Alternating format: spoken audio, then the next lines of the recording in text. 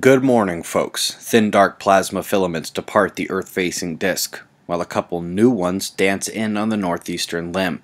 It is a quiet event on the Sun, indicative of not only the coming sunspot minimum, but the coming grand solar minimum, as we're supposed to still be seeing some regular activity even as we trend towards the trough of the 11 year cycle.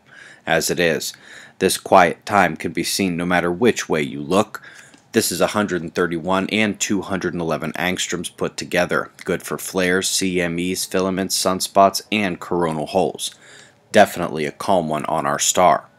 Solar flaring, no surprise to be almost flatlined, and the sunspots are again not cooperating. The largest is a loner, and we're lacking anything really complex.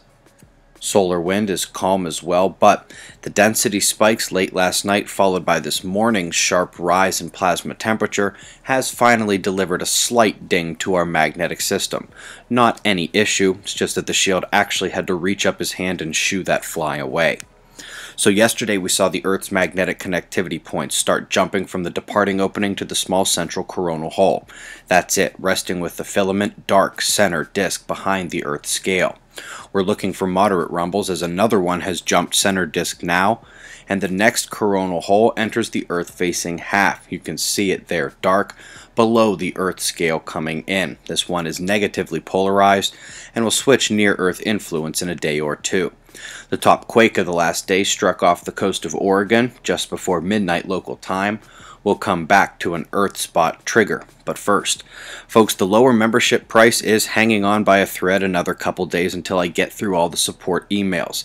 I wasn't just going to cut it off with all of those of you still lingering out there, so price not going up until I get through those.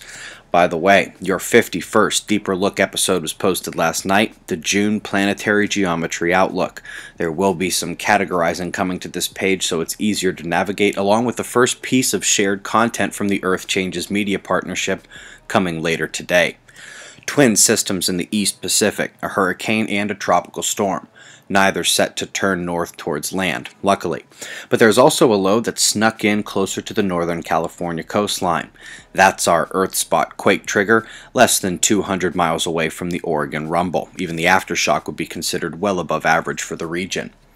Two concerns for the U.S. tonight. We have separated flows east and west, with the eastern system consisting of a full convergence line there.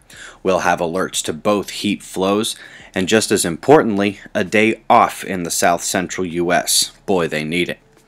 In Europe, the story is all about that big low up north. It is our cloud regulator, but for some smaller systems off the southern water. Spain and France, bit more in the mix today than you were yesterday. Down under, we have two systems of focus as well. The low between nations there is being stalked a thousand miles to the west by another system just creeping up on Perth now. Both systems offer reasons to pay attention to your local forecast down there. We've got ground level conditions and shots of our star to close. It's 5:55 a.m. Eastern Time and that's the news. Eyes open. No fear. Be safe everyone.